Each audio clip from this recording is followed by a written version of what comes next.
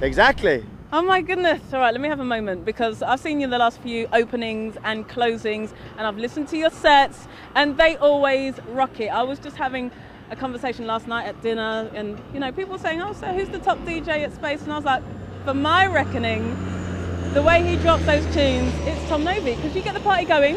Thank you for the flowers. Thank you very much.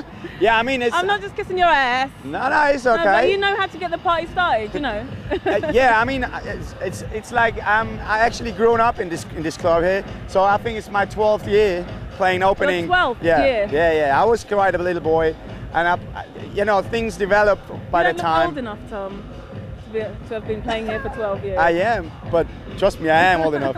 I just, I'm just a good-looking guy. That's it. no cracks. nah, no cracks. Exactly.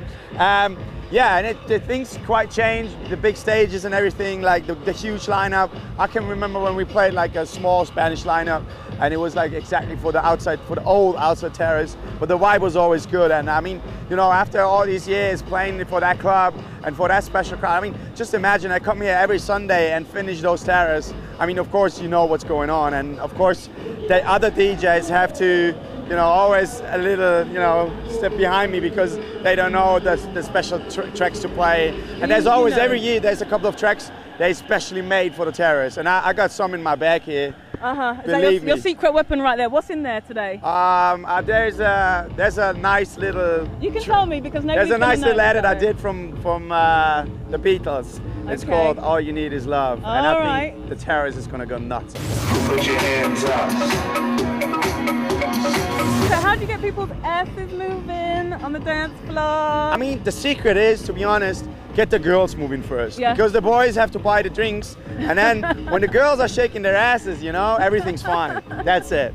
I've heard that you and your crew really know how to party as well. You know, you do your thing on the terrace, you do your thing behind the decks, but then afterwards it's all about the Tom Novy after party. Where are you after? Uh, where are you doing your after party this summer? oh, this summer? Um, I don't know. I mean, last summer was I was quite little, you know, quiet. There was just like two or three after parties. They were really wild. But normally I, I just spend some days on the beach because you know traveling is so hard at the summer, and I'd like to chill out. I'd like to hang out at the beaches because you know I'm I'm not. I don't want to say I'm too old for partying seven days a week.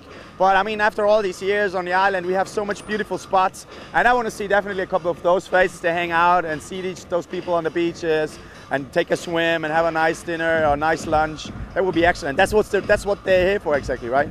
Put your hands up. So who are your DJ friends this year? Who are you going to be hanging out with on the island? Uh, it's it's always different. I mean, it's like you know, you meet people and uh, you lose people and you, you split up, you, you come together. But I mean, it's, it's, it's always like a special, nice crowd at Space Residence. Like Dieter Simplomo is one of my oldest friends. I like Carl. I play with Carl actually on this festival in Mallorca. What's he like when he's not being the king of clubs? He is the king of being a host. he's the king of friends. Now, Carl is is just like such a nice person, uh, and he's just a lovely guy and a funny guy. He's you know just normal. You don't you don't have any attitude and stuff like. It's all good. I want to talk technical with you now, Tom. Yeah. Okay, so you got just a small case of CDs there. You know, no big lugging of vinyl. I don't see that. I got I got a record case with me, but Oh, it's you filled up with champagne. So, but don't talk, don't tell the owners, please. That just gives you your credibility, but you still like to do the CDJs, right? Exactly. Um, I mean, over the last years, you know, the traveling is so much easier. The technical, the, technical thing is just improved. You can loop, you can do your tricks. It's so much easier. I mean, I stopped playing records, I think, four years ago already. And you know that's all we need. And you can do special edits in the studio. Just burn it down on CD and then put it in the CD CD 1000 and just What get it going. You know. What tricks do you like on the CDJ 1000? Um, I go for the loop, for the loop, and I go for the backflips, and I also also try to get into the scratching. But to be honest, when you're used to scratch with records, it's quite a little bit different because it's a little bit smaller, and my hands are too big for that thing. but I'm getting into it. Believe me. Actually, house music is not a scratching thing, but um, I mean, it's. I think those those equipment are the new thing. I mean, like Technics, the, the 12 1210s used to be for 20 years the thing that has to be in every club. This CD player is the one that has to be everywhere in, in every club in the world. It's the industry standard. It's it.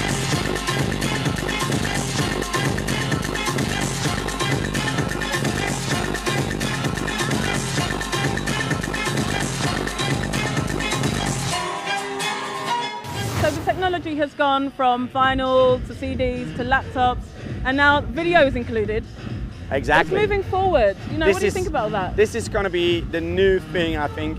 I mean, it, it's going to take a while to develop and everything, and to get a lot of DJs on that train. But I mean, I tried it out. I saw a couple of DJs. Uh, if you're just playing festivals, for example, the live thing, and you have like a 20 meters LED, and you can bring your own visual ideas with you, it's this is like you know brilliant. so when are we going to see you next in Ibiza? Are you, you here for the whole season like you were last year, or is it just it's you know the whole it's the whole season every Sunday. It, they, I might take one or two Sundays off and do something else around Europe. Um, it's one gig with Eric at Subliminal, and maybe some nice little after parties in some houses. But uh, we give out flyers, so you know Well, make if sure you're you on the me on your mailing list. Uh, yeah. How you feeling out there?